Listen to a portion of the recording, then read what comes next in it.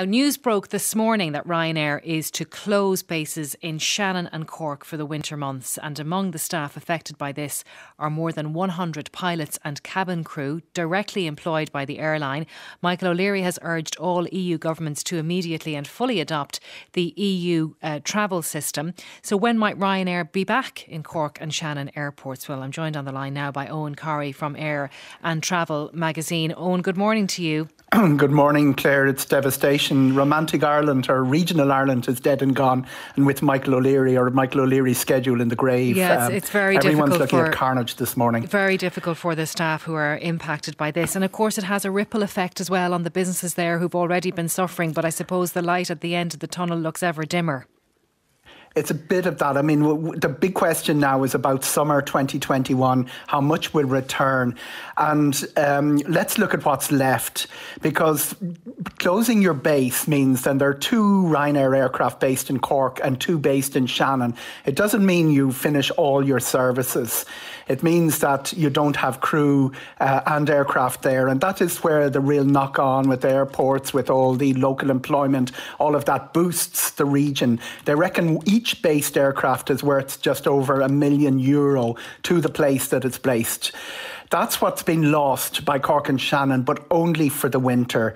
The big query now is will they return those based aircraft for the summer with all the attendant costs? There will still be services there, but you know we've we're down to something like eight Ryanair flights a week from both Cork and Shannon. And Knock, which hasn't been mentioned, that's down. That's lost 80% of its winter services. It's down to seven Ryanair services a week. All of those are going to be Ryanair aircraft based elsewhere, uh, places like Manchester and Birmingham and uh, Stansted. And how easy is it to reopen a base once the decision has been taken to close it? It can be done fairly quickly.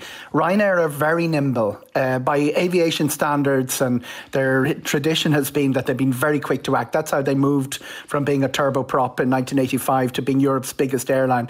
So you can see the way they reacted to uh, coronavirus crisis this summer, very nimble compared with competitors. They'll also be watching just in case uh, there, if there's business to be done, for instance, next summer out of Cork and Shannon and somebody else starts moving into their patch, that's when they'd be very, very quick to move back. I do think they also are quite patriotic, despite appearances sometimes. They do like Ireland, they do like regional Ireland, and they are fairly committed to keeping as much business in Cork and Shannon as they can. But the question which aviation is asking, everyone is asking, is what degree, what, what business is going to be done in summer 2021? The winter's a write off. What's happening summer 2021? How much demand will there be? Okay, and um, they're also looking at their bases elsewhere. Toulouse in France, that's going to close, and there'll be other cuts elsewhere too.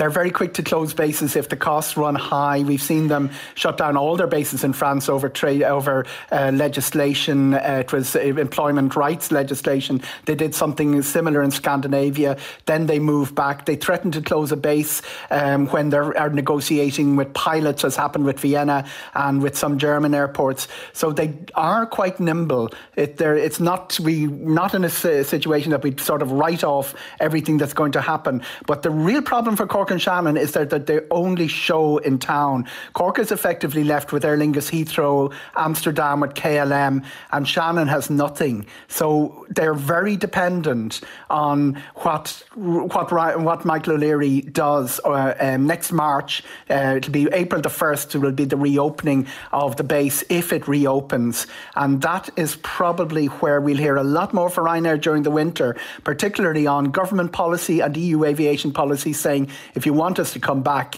this is what you have to okay. do. Okay, and then this European traffic light system. There's no, there isn't a country on it with a green light. It's carnage. Um, what was agreed, what emerged from the meeting last Tuesday, was not what was agreed in advance by the Commission the way this was supposed to work was the uh, recommendations went to the member states and they came back with something resembling what they were recommended. The key thing that uh, all of the aviation groups, IATA, ECTA, the, the uh, Airlines for Europe, all rejected it within an hour of it being announced. And the reason they did was that it allowed too many get out clauses for member states. Member states, when they get nervous, start blaming each other. It's not just um, a sort of thing that uh, every country in Europe starts looking at the neighbours saying your rates are higher than us. And the whole closure of borders that uh, the EU has been trying to prevent has been a, a gathering movement. So giving member states this um, this ability to opt out, not uh, two weeks in advance, as had been the proposed document, but 24 hours in advance, that made it impossible to plan a holiday, never mind to plan um, uh, an airline schedule. And there were all there were um, all sorts of hopes that there would be a more extensive regional interpretation and that the traffic light system would um, specify that orange and green be treated the same. Uh, in other words, people do, would not have to quarantine coming from orange and green countries.